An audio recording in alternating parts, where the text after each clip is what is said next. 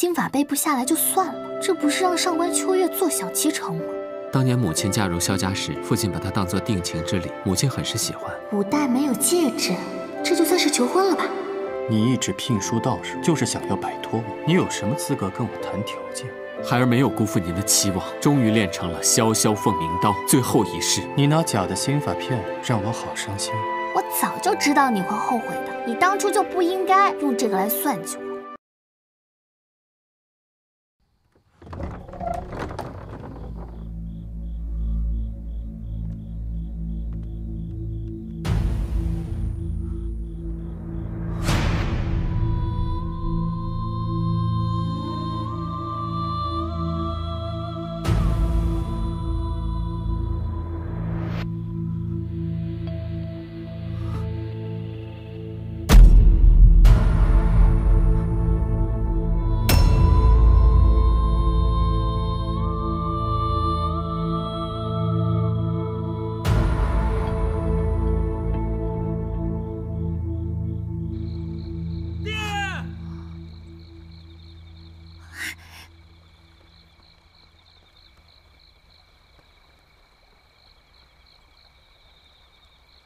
叶言，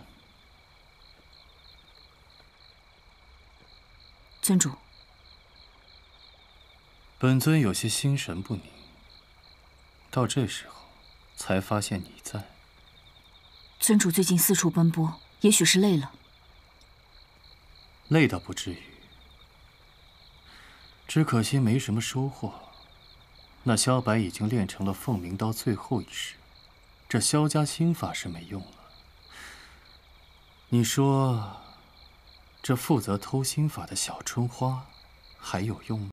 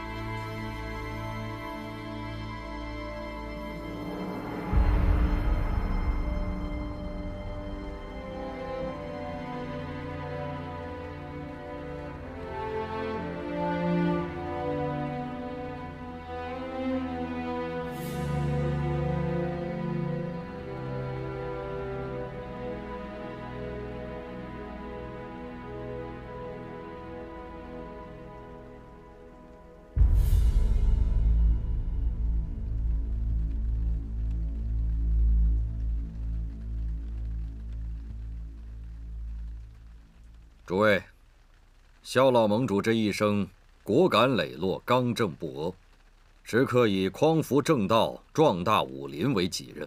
无论是武功还是智谋，均当得起治世大侠。而今天，果敢磊落，治世大侠，笑！何人敢在此造次？不得污蔑盟主声誉！哼，一群虚伪至极的宵小之辈！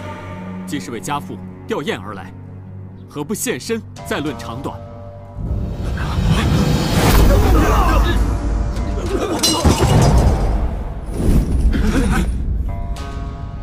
吊唁，哼！少庄主真是会说话。你还活着？隐山派，李建林。各位掌门好记性，大家都别来无恙。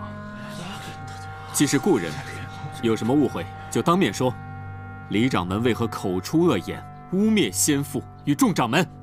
少庄主，还真是和年轻时候的萧元一模一样，生就了一副好皮相。可惜都是一副令人作呕的大侠做派。你，别添乱，少盟主可以应付这个场面。李兄，既然你还活着，为何不回来找我们呢？我早已经是个死人了。今天之所以死而复活，就是见不得萧远被当做仁义大侠传送。他就是一个背信弃义的小人，一派胡言！少庄主，这是练就了凤鸣刀的最后一式了。那萧远死前是不是把玄冰石给了你？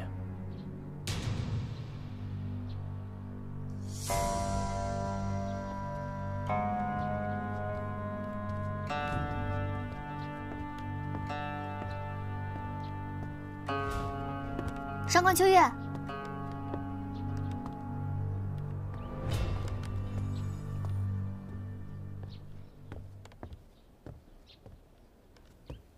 叫哥哥。果然是你。你来干什么？那个李建林也是你带来的？小春花去看看热闹，自然就知道了。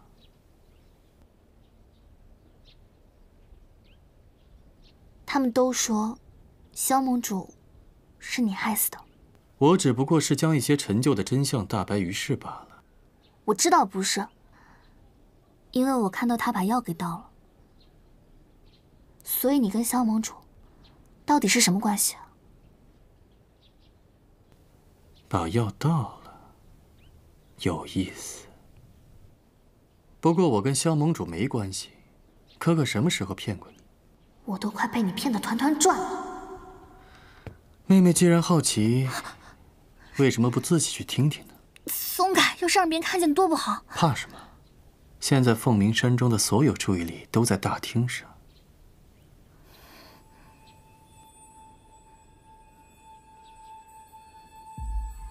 认真听。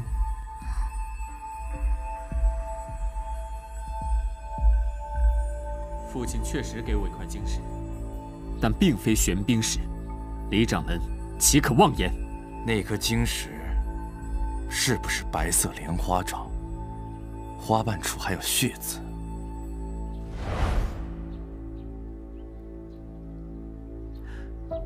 你为何得知？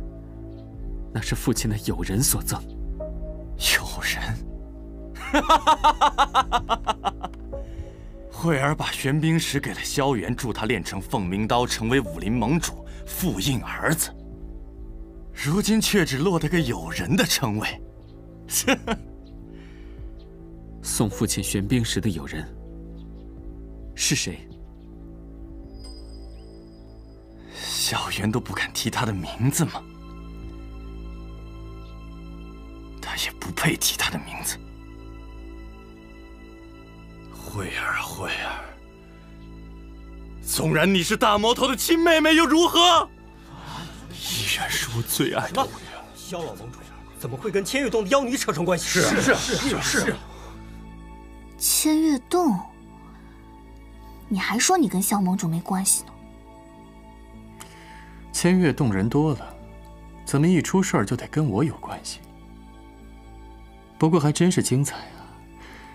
这萧白练就凤鸣刀，还得靠你们所谓的千月洞妖女。小白不需要什么玄冰石，也能够练成凤鸣刀。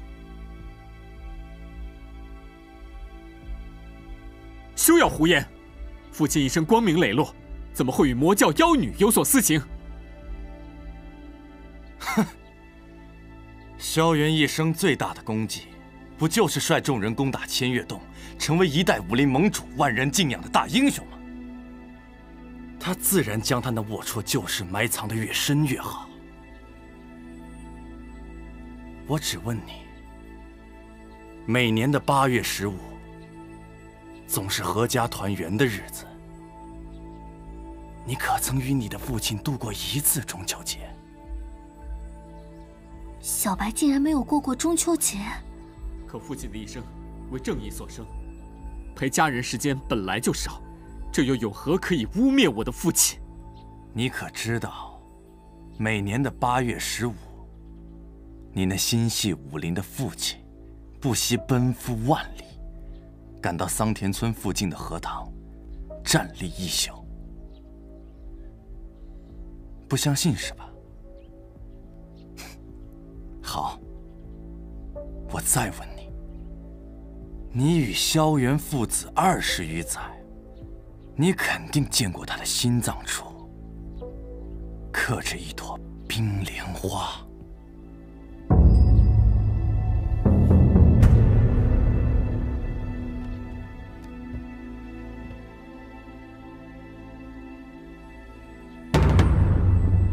当年情形，李掌门不必闪烁其词，不妨当众告知。我相信父亲能够经得住任何考验。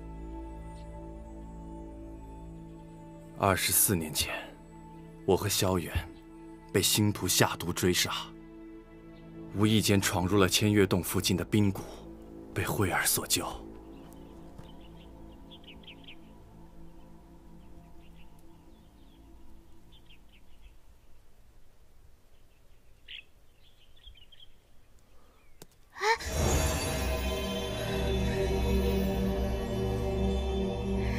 冰才喜欢他。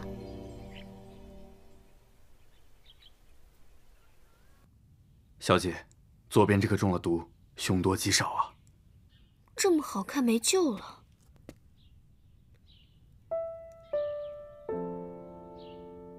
果然漂亮的东西，在冰谷都活不了，莲花也活不了。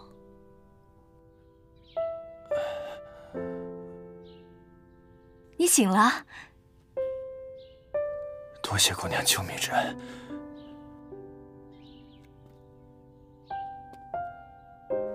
救不了了。他中了毒，活不成了。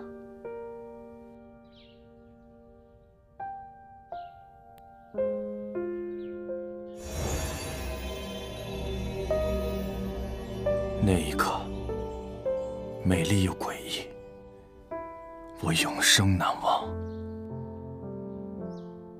后来才知道，慧儿她天生惧怕炎热，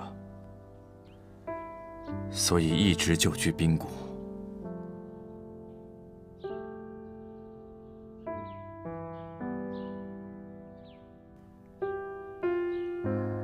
这睫毛可真长啊！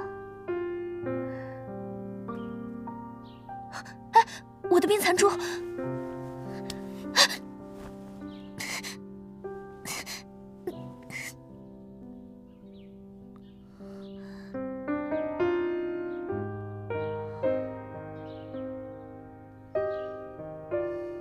万万没想到，慧儿身上的莲花，居然解了萧元体内的剧毒。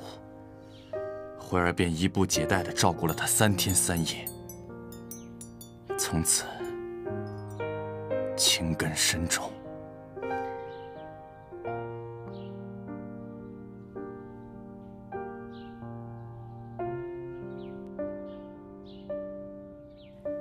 现在你也有朵莲花了。小远终于醒了。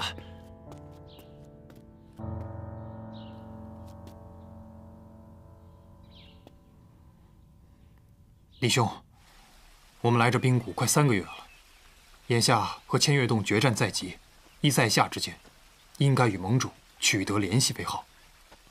我倒觉得，萧兄不妨养好伤，我们再走。连累李兄了。谁敢走？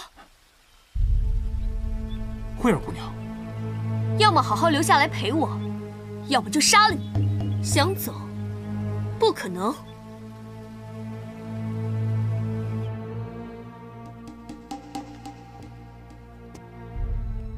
你不觉得你跟上官慧很像吗？哪儿像了？一样的以自我为中心。你看哥哥像他那么蠢吗？上官慧，上官秋月，你们一定有关系。对呀，上官春花、上官秋月也有关系。接着听。上官慧果然是千月洞的妖女，哪怕不问江湖，也生性凶残。说到凶残，慧儿从不伤及任何人的性命，还救了我和萧远。试问风掌门，你刀下的亡魂？可曾数得清楚？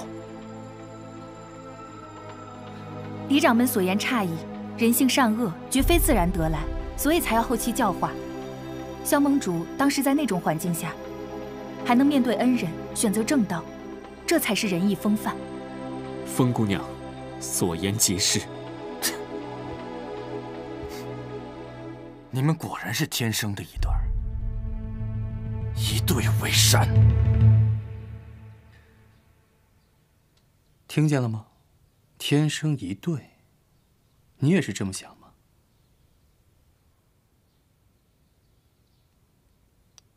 我能理解上官会想要做什么，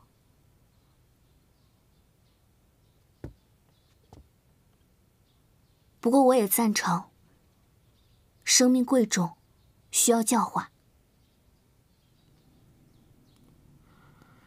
所以说，上官慧也只是为了留下萧老盟主，但是手段太残忍了，太狠毒。全天下没有任何人有资格评价慧儿。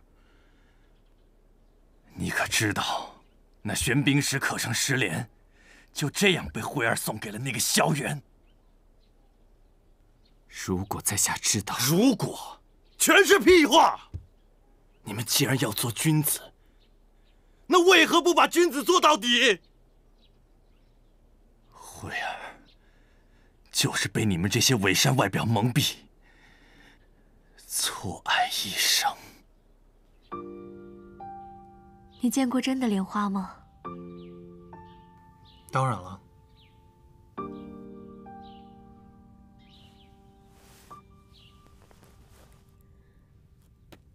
可我就没有。我的身体只能住在这奇寒的冰谷里。有一次，我偷偷跑出去，远远的只看到了碧波连天。后来哥哥把这冰残坠雕刻成莲花的样子，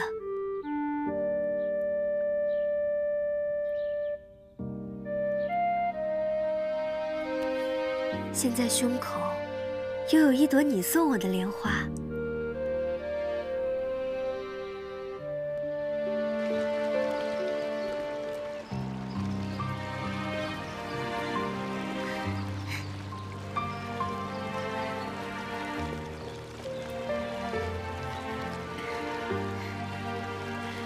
在我的家乡，中秋是一家团圆的日子。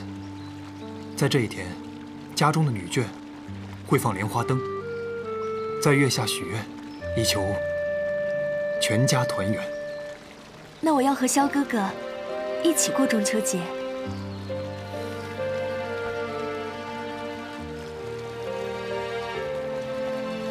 萧哥哥，你的心跳得好快啊！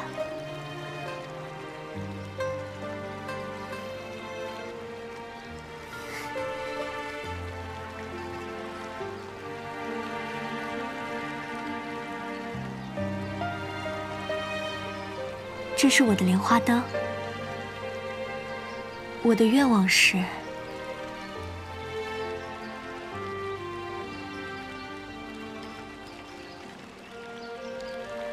和萧哥哥一生一世，永不分离。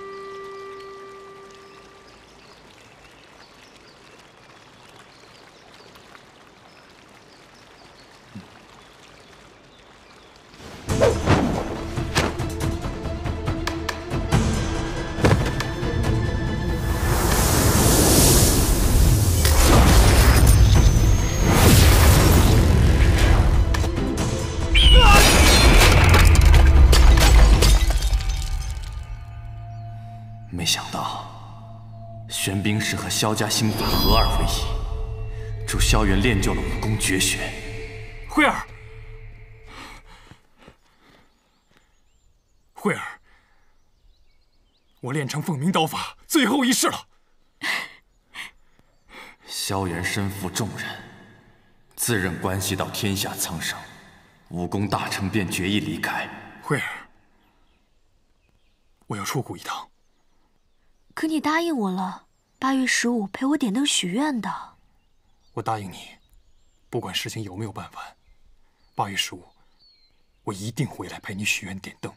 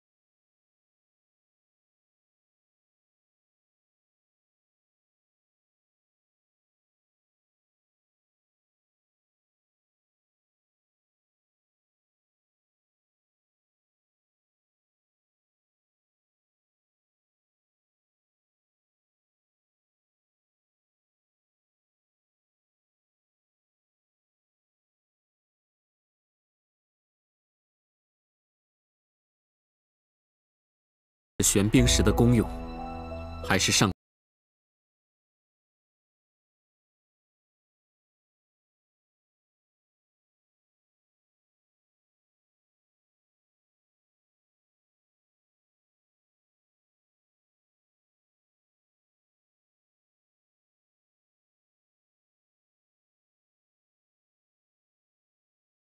来，当时这段孽缘，他当然不高兴了。因为很快，他就知道了上官慧是谁。慧儿她是千月洞洞主的妹妹。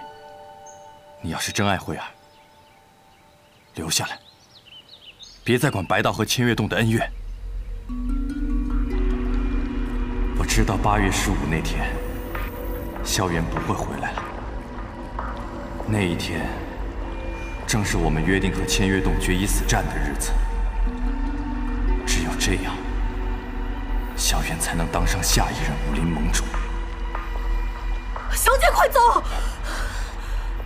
小姐快走！白道进宫，有星主背叛，东主当场身亡。走，慧儿。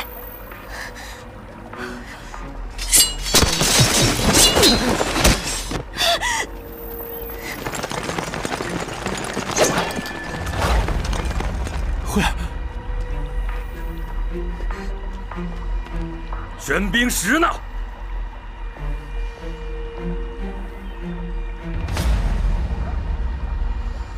慧儿把玄冰石给了萧远，却害死了自己的亲哥哥。你们心目中的大英雄武林盟主，剿灭魔道的丰功伟绩，全是靠一个女人成全的。这怎么会这样？你说可笑不可笑？哈哈哈哈哈哈！哈 李兄，我们也去找过你，只是为时已晚。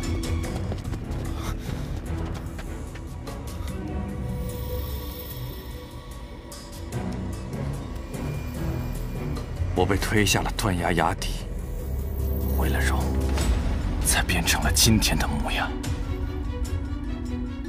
我也想过一了百了。支撑我活下去的理由只有两个，一个是救出备受凌辱的慧儿，还有一个就是让萧远身败名裂。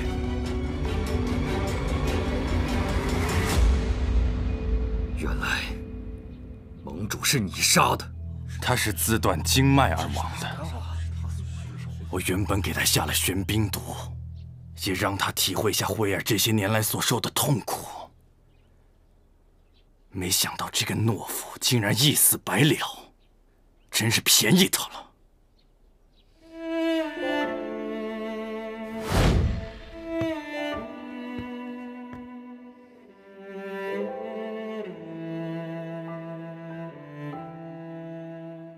我终于知道，每年中秋节父亲都做了什么。萧远已死，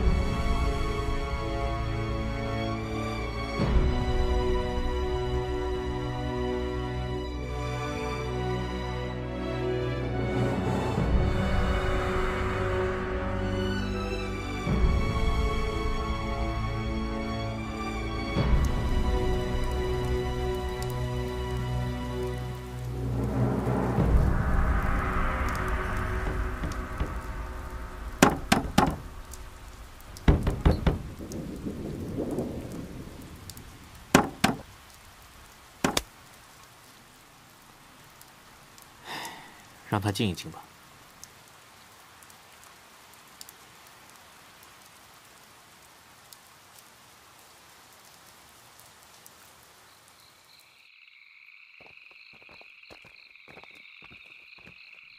没想到盟主还有这样一段往事。一将功成万骨枯。何人在此设下的残局？这就让人糊涂了，也不知道这是刚刚开局随手一摆，还是眼见残局难解，干脆打乱了棋子，弃局而去呢？这盘局，倒很像今天的情形啊。怎么说？这一黑一白两枚棋子，就好比上官慧和萧老盟主，唯此二字相生相依，仿佛置身一场情局之中。对啊，如果没有他人的干扰，哪儿分什么黑白正邪？这两枚棋子便可以长长久久的相守下去。可既在局内，便无桃源。若是大波白子入局，这颗原本孤零零的白子，怎么还会忘记自己的身份，与黑子相安无事呢？当然可以忘记。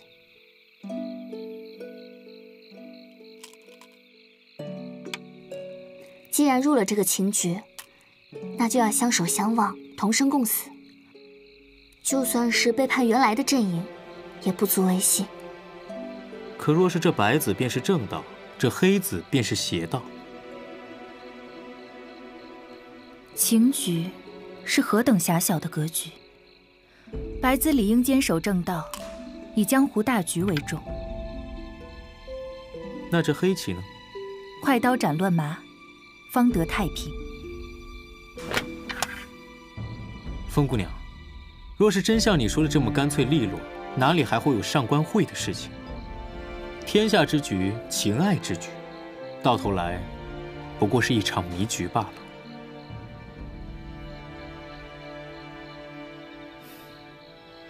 也不知道上盟主会作何选择。